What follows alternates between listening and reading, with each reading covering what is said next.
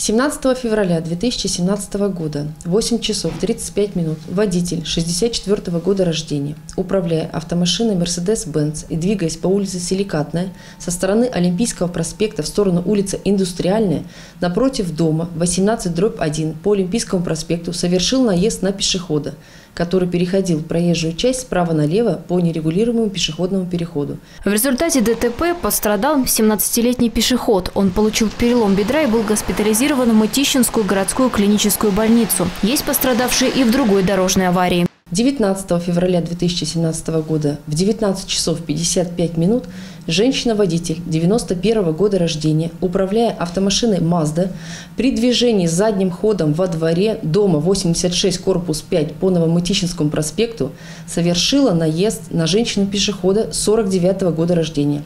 В результате ДТП пострадала женщина-пешеход.